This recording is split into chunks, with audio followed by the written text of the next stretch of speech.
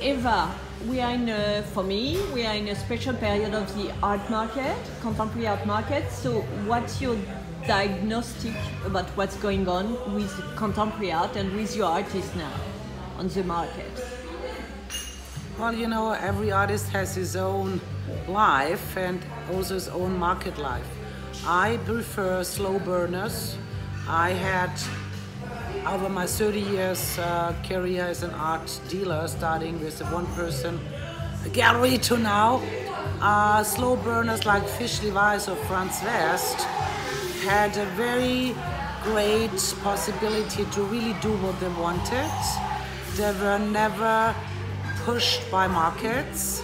They had a fabulous life because they always made enough money anyway.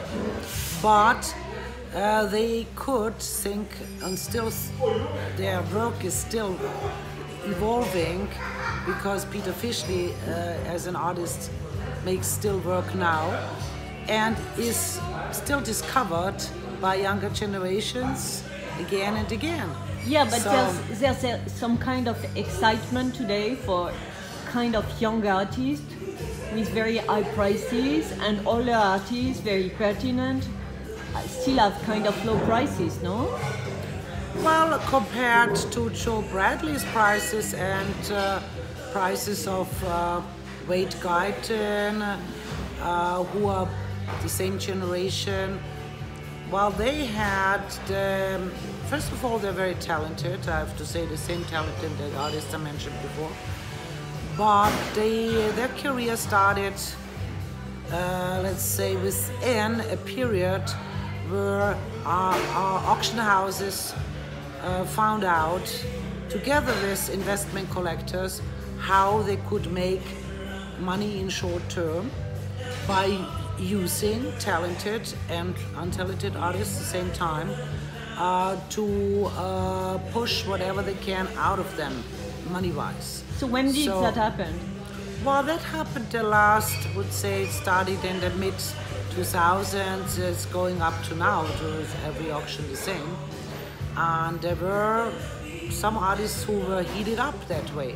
Hmm. It, it was not the artists themselves. It was just collectors and auction houses who could see the potential for an artist to be heated up, and that happened there.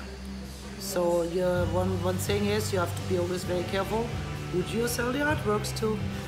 Okay. But so it happened to Wade Guyton, right? yeah, but Wade, wait is probably not. I mean, he, he has also uh, higher prices now, but I think he, his market is better protected because he didn't go to mega galleries. He never left Petzel, Gisela Capitain, Francesca Pia. So he, he was not spread out to this kind of uh, collectors who just wanna make a million more two years later. So he was more lucky than others, you know. So you complain about these collector investors? I don't complain. I don't, just don't find them too sympathetic. Uh, I don't think they have anything to do with knowledge of art, and, and, and, and they should not have a say. And you don't sell to them? Uh, very rarely, uh, out of mistakes, probably. Yeah, yeah.